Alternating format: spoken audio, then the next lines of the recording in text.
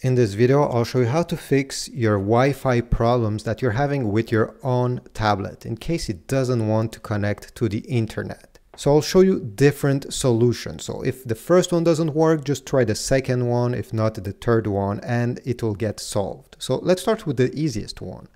So maybe the problem is not your tablet. Maybe it's the router, your Wi-Fi router. So what I suggest is to unplug the router from the wall socket, wait a minute and then plug it back.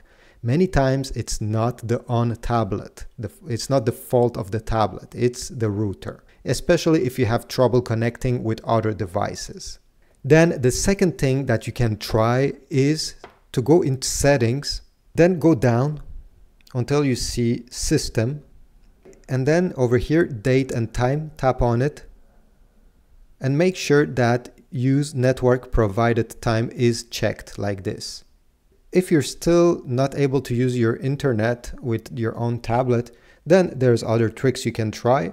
It's the easiest is to restart your tablet and to do so just keep press the power button until you get this menu and press the restart button over here. It will take about two minutes for the tablet to fully restart and hopefully your problem will be gone. If this didn't work, go into the Wi-Fi settings. I'll go in settings first. Then go over network and internet.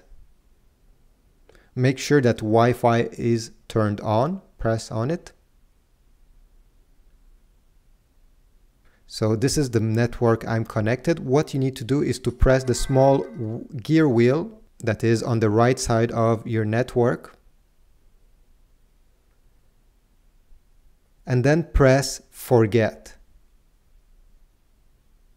So it will disconnect and forget the network. Now you just have to reconnect. So find it in the list below and type your uh, Wi-Fi password again. Hopefully this time it will connect and it will actually work. So I hope this video was useful. If you have other tricks that can help solve this problem, please type them down below. I'm sure somebody will be very grateful to find them.